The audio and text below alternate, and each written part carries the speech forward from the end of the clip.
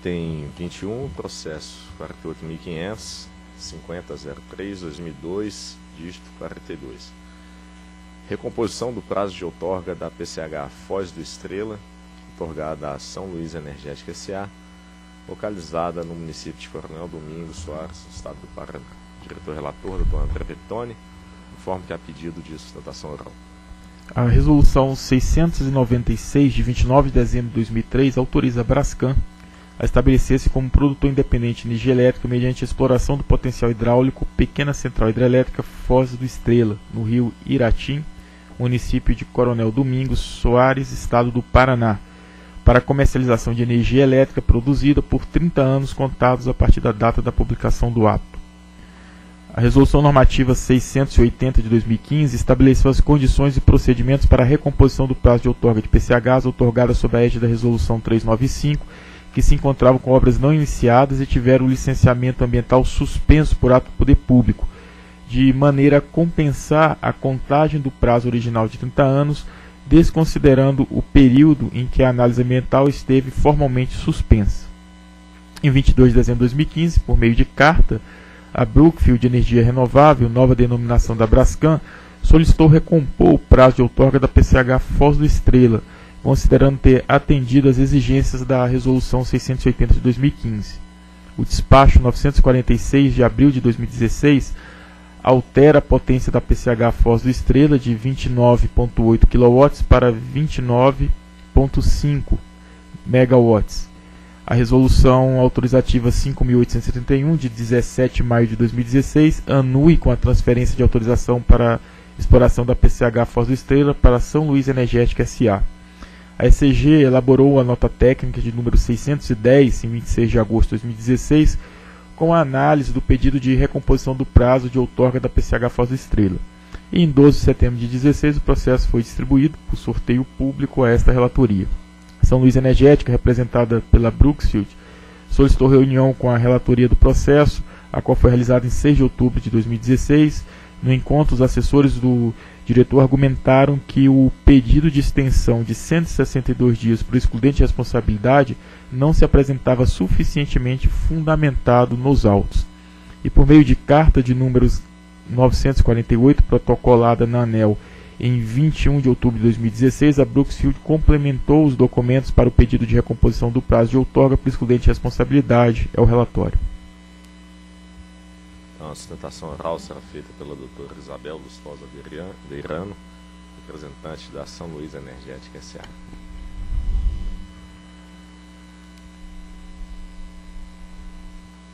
Bom dia a todos. Bom, esse, nesse processo, a Brookfield eh, fez um pedido eh, relativo ao prazo de outorga da PCH Foz de Estrela, que é desdobrado em duas partes. A primeira delas diz respeito ao pedido de recomposição da outorga por um prazo de 2.791 dias, e esse pedido foi feito sob a resolução 680. E o segundo pedido diz respeito a um pedido de reconhecimento de excludente de responsabilidade, que foi feito pelo prazo de 162 dias e depois é, retificado para o prazo de 155 dias. Então, é, trata-se de dois pedidos autônomos, cada um a ser examinado é, de acordo pelos seus próprios fundamentos.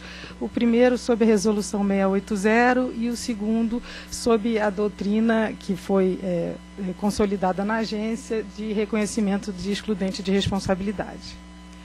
Bom, e aí, apenas para dar uma visão geral dos períodos, né, o primeiro período se refere aos mais de sete anos em que, no Paraná, os processos de licenciamento ambiental ficaram suspensos, e o segundo período diz respeito ao período de atraso para emissão de licença pré, da licença prévia após esse longo período aí de suspensão dos processos no Paraná.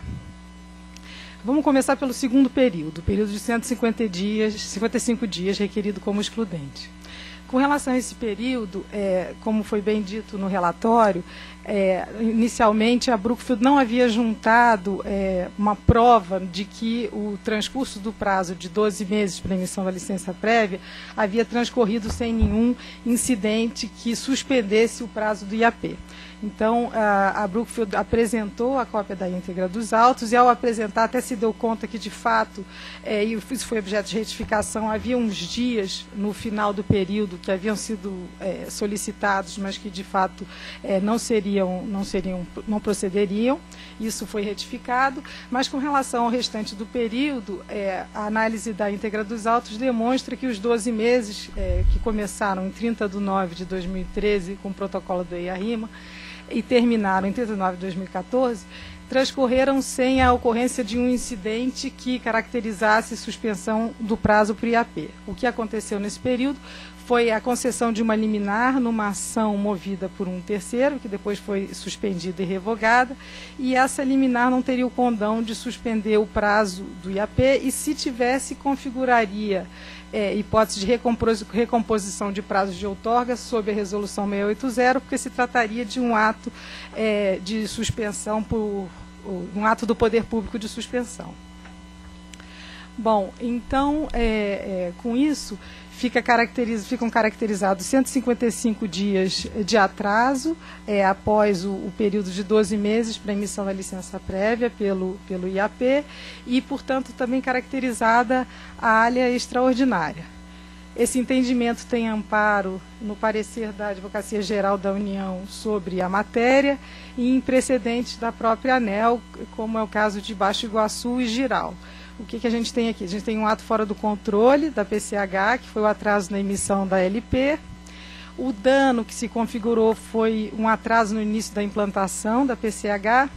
E o nexo causal entre o ato e o dano é, foi que consiste em que o atraso na emissão da licença prévia atrasou o protocolo da licença de instalação e, portanto, atrasou a possibilidade de início do empreendimento.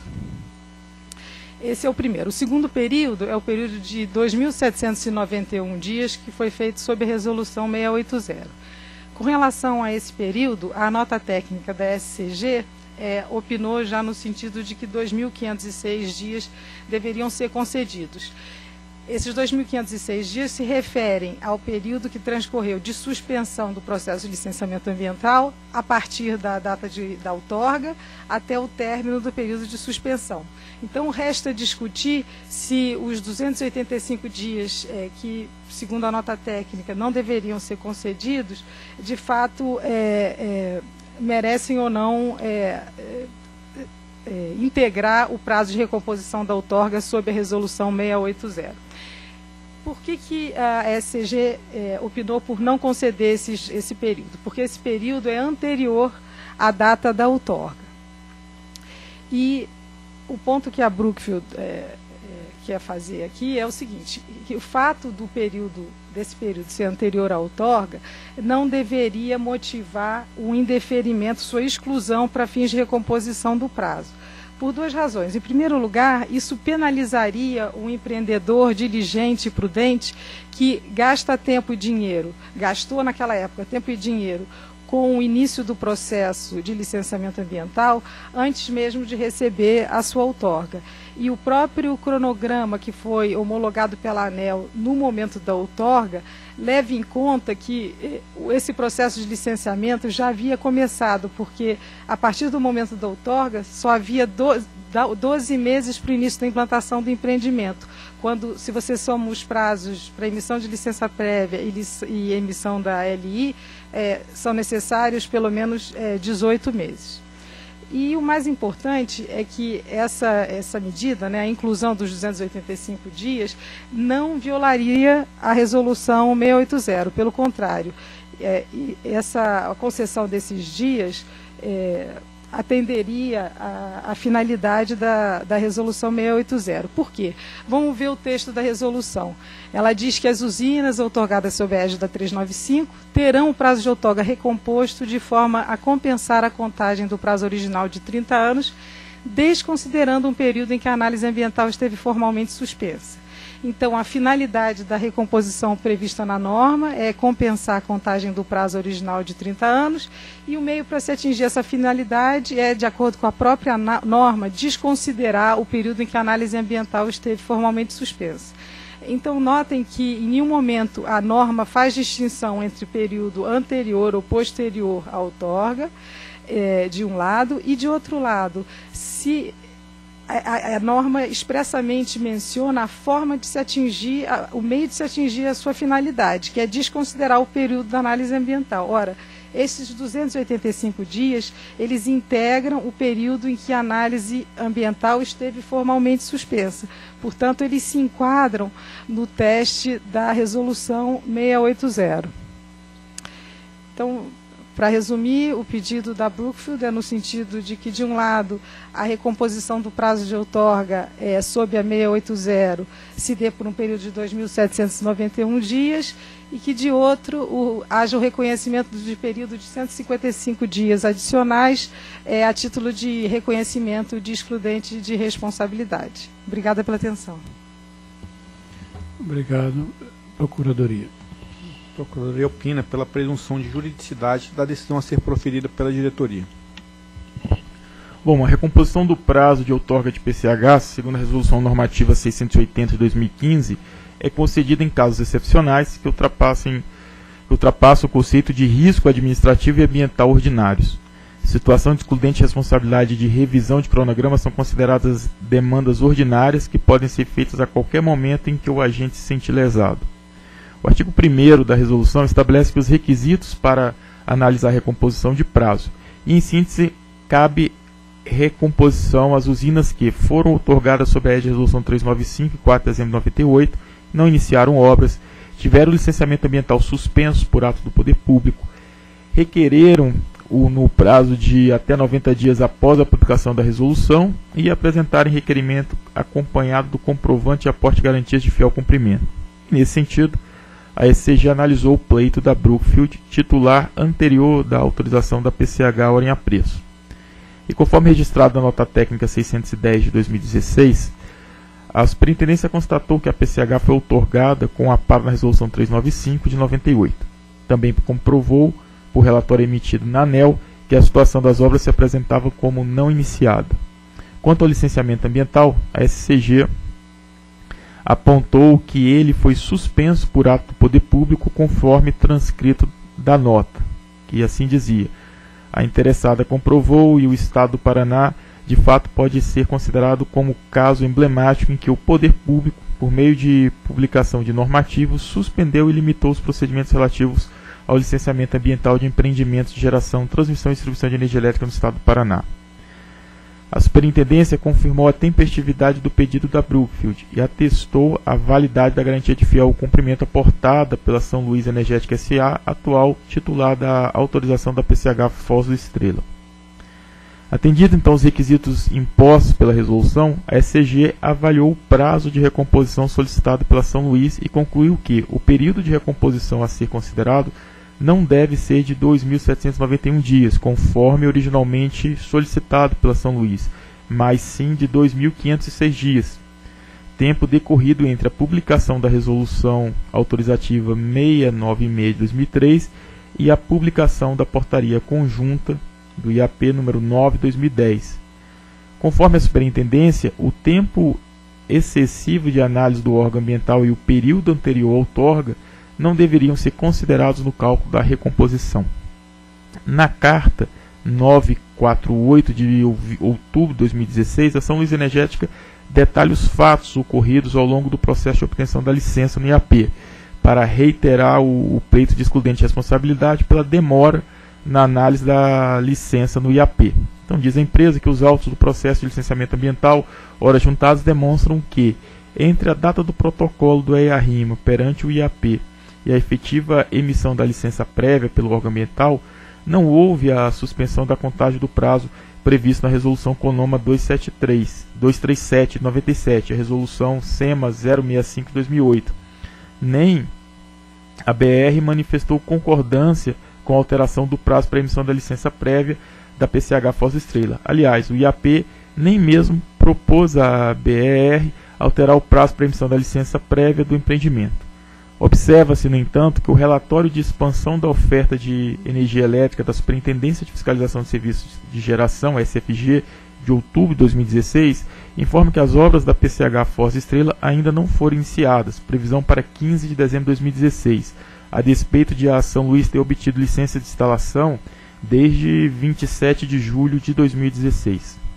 Nessas circunstâncias, não é possível afirmar que o tempo excessivo no IAP para emitir a licença prévia provocou o atraso na obra da PCH, ou seja, não está claro o nexo causal entre os dois fatos para fins de recomposição do período de outorga. Portanto, entende-se que a extensão do prazo de 162 dias, solicitada como excludente de responsabilidade, não poderia ser concedida, que depois foi corrigido, né, como foi dito aqui, para 155 dias.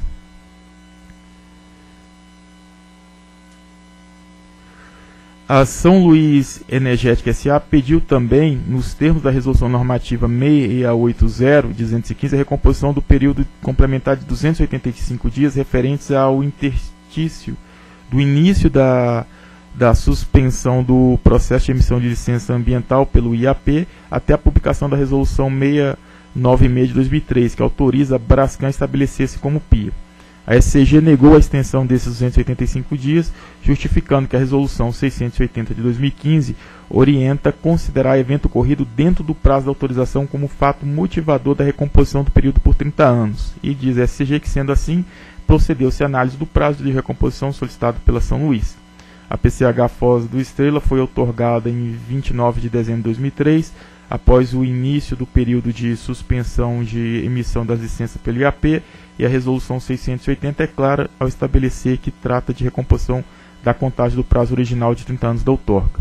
A requerente, por sua vez, alegou que a Resolução 680 de 2015 não estabeleceu como condição para a recomposição do prazo da outorga que a suspensão da análise ambiental tivesse de, ser, de ter ocorrido em momento posterior da delegação e desconsiderar na recomposição do prazo da outorga da PCH Foz Estrela uma parte do período durante o qual a análise ambiental do empreendimento ficou suspensa implica contrair a própria 680.